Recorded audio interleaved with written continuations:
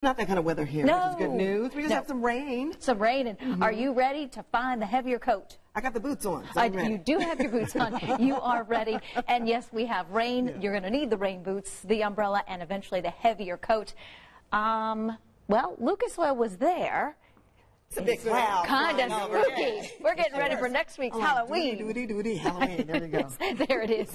And yes, we have a low cloud deck that's uh, obscuring at times our visibility. There's a slightly more clear view from uh, our camera at Lucas Oil Stadium. 55 degrees right now, a west wind at 14.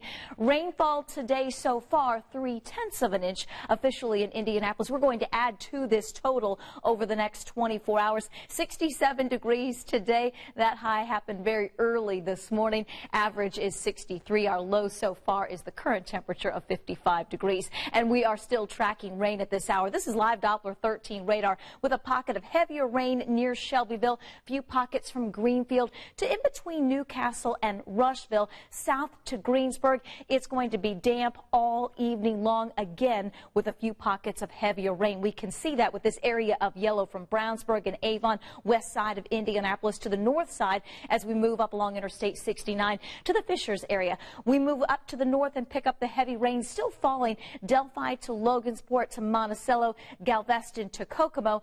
And really this rain isn't moving anywhere too quickly.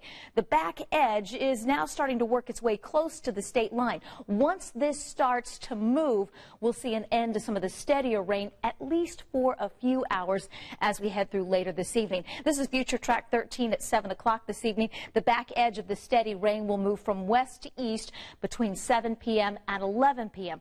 We are not going to be done with the rain. Still soggy overnight and a damp, cool, breezy start to Tuesday. This is Tuesday midday. Another round of steady rain in the forecast tomorrow afternoon and tomorrow evening. So as you make your plans for Tuesday, a jacket and an umbrella. Cloudy, damp, and cool to start. 9 a.m. 46.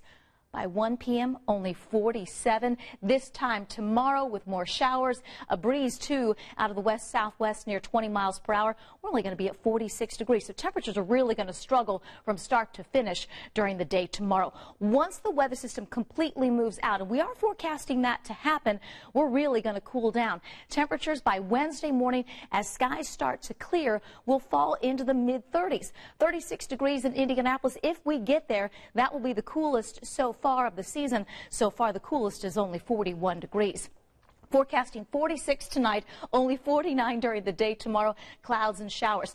36 patchy frost possible Wednesday morning, Wednesday afternoon, a high of only 50. We get up to 65 degrees on Thursday. That's a one day warm up. And then we prepare for the coldest air of the season. Upper 20s, low 30s will be possible. If we get that cold, we'll go from the first frost to the first freeze. And I'll have those average dates coming up for you at 530.